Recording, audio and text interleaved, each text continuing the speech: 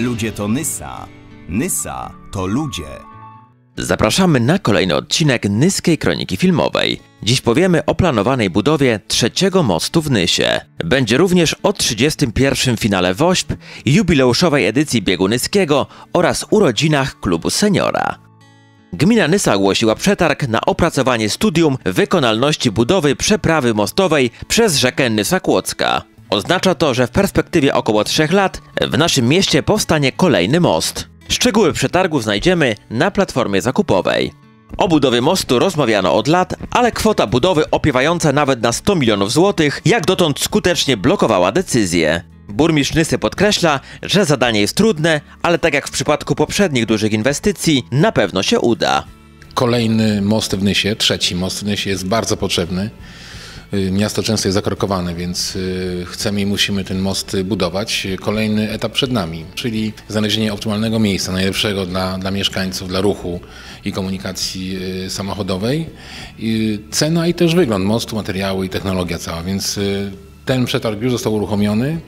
Będziemy czekać do 10 lutego na wybór na wybór y, wykonawcy i będzie miał wykonawca około roku na to, żeby te dokumenty przygotować i potem kolejnym krokiem będzie już dokumentacja bardzo konkretna z kosztorysem.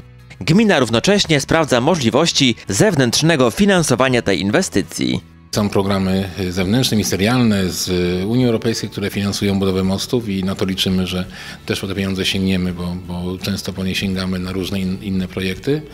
Y, Jesteśmy optymistami, więc będziemy aplikować o środki zewnętrzne. Jestem przekonany, że to się dosyć szybko uda, tak, bo chcielibyśmy, aby most w 2025 lub 2026 roku najpóźniej już był w Nysie faktem. 29 stycznia po raz 31 zagra Wielka Orkiestra Świątecznej Pomocy. W Nysie epicentrum wydarzeń będzie Galeria Dekada. Jak zawsze nie zabraknie wielu ciekawych voucherów i fantów, które będzie można zdobyć w trakcie licytacji. Ośrodek rekreacji Aquamarina w Skorochowie przekazał na przykład 10 voucherów na jednorazowe slipowanie nad Jeziorem Nyskim w sezonie 2023. Podświetlaną Nyskę, której autorem jest pan Robert Psiuk, przekazał burmistrz Nysy Kordian Kolbiarz. Reprezentuję firmę Eurotech, e, która to zawsze wspiera mnie w moich e, projektach. I jest to projekt, e, który jak co roku, zawsze dla mojego miasta, z którego pochodzę, w którym się urodziłem, e, nawiązuje do miasta. Więc w tym roku pozwoliłem sobie nawiązać do legendarnego samochodu, który tutaj został produkowany i został zaprojektowany. Tak to wygląda. Oczywiście na szczytny cel Wielka Orkiestra Świątecznej Pomocy. Deska wykonana ze stali nierdzewnej e, 304 w jed- z jednego kawałka, to też jest ważne. Dziękujemy za ten kolejny już dar serca i kreatywne podejście do pomagania i lokalnego patriotyzmu. Przypomnijmy, że w zeszłym roku pan Robert przekazał lampę wzorowaną na pięknej studni. W przedszkolu numer 10 zakończyły się jasełka przygotowane specjalnie z okazji Dnia Babci i Dziadka. Poszczególne grupy w różnych terminach pod okiem opiekunów prezentowały krótkie, ale angażujące wszystkie dzieci przedstawienia. Jak zawsze była muzyka na żywo oraz piękna sceneria. Jasełka już na stałe zagoszczą w kalendarzu wydarzeń placówki. W tym roku doczekamy się dziesiątej edycji Biegu Nyskiego, jednej z najlepiej ocenianych imprez biegowych w naszym kraju. Przede wszystkim e, zbiega się ona z 800-leciem miasta Nysy, więc e, myślę, że jesteśmy poważnym uzupełnieniem oferty e, tej, można powiedzieć, świątecznej, tak, czy, czy jubileuszowej.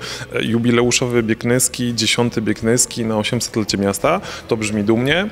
Zapisy wystartowały na początku stycznia. Jedna czwarta miejsc jest już zarezerwowana. Nie ukrywam, że bardzo nam zależy na tym, żeby na dziesiąty jubileuszowy bieg Nyski po tych postpandemicznych problemach e, ten limit rzeczywiście wyczerpać. Mam nadzieję, że finalnie uda się jeszcze go zwiększyć, gdyby było większe zainteresowanie. Bierzemy też pod uwagę taki scenariusz. Dziesiąty bieg Nyski odbędzie się 10 czerwca 2023 roku. Udział potwierdzili zawodnicy z Czech, Niemiec, Węgier i Turcji, więc już dzisiaj można powiedzieć, że będzie to impreza międzynarodowa. Start i meta tradycyjnie na ulicy Sudeckiej przy hali Nysa. W obiekcie będzie także biuro zawodów. Zasada będzie taka sama jak w latach poprzednich, tak? czyli mm, sam bieg będzie odbywał się w tej samej formule.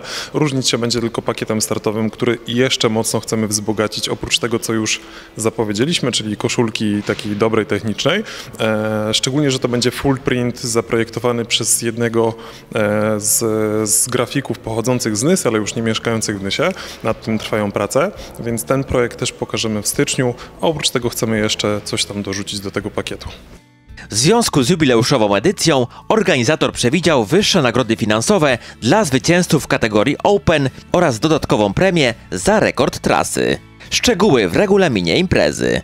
Szczególności chcemy podziękować też władzom miasta, szczególnie panu burmistrzowi Kordianowi Kolbierzowi za to, że wspiera bieg Nyski e, w zasadzie od początku swojego urzędowania. E, tutaj też podziękowania należą się dla naszego biegającego sekretarza e, gminy Piotra Bobaka, który zresztą też ostatnio dokonał wielkiego wyczynu. Rekord 100 razy kopa, naprawdę szacunek i to też powinno być motywacją dla wszystkich mieszkańców Nysy, że warto biegać i warto zapisać się na bieg Nyski. Oprócz biegu głównego na 10 km, w programie imprezy będzie uwielbiana przez najmłodszych mila rodzinna biegu Nyskiego. Bieg na dystansie około 1,5 km wystartuje o godzinie 18. Uczestnikiem może być każdy. Nie ma tutaj ograniczeń wiekowych, udział mogą wziąć całe rodziny, od najmłodszych dzieci w wózkach po najstarszych familii. Mila rodzinna biegu Nyskiego jest bezpłatna. Będzie także niespodzianka. W tym roku w Mili Rodzinnej planowany jest udział uczestnika Igrzysk Olimpijskich, reprezentanta naszego kraju. 19 stycznia pierwsze urodziny obchodził klub seniora na ulicy Franciszkańskiej. W bardzo radosnym świętowaniu uczestniczyli burmistrz Nysy Kordian Kolbiarz oraz sekretarz miasta Piotr Bobak. Naszym kochanym seniorom życzymy wielu lat w zdrowiu i takiej werwy, jaką prezentowali podczas części artystycznej. Na terenie naszej gminy obecnie funkcjonują trzy kluby seniora przy ulicy Franciszkańskiej, a także na ulicy Moniuszki oraz przy ulicy Kornela Ujejskiego. Klub Senior Plus to miejsce spotkań, integracji, aktywizacji, rozwijania zainteresowań i pasji, wspólnie spędzanego czasu. Klub przeznaczony jest dla mieszkańców z terenu naszej gminy, którzy ukończyli 60 rok życia. Zajęcia sportowe, relaksacyjne czy warsztaty rękodzielnicze to tylko niektóre aktywności, jakie podejmują nasi seniorzy.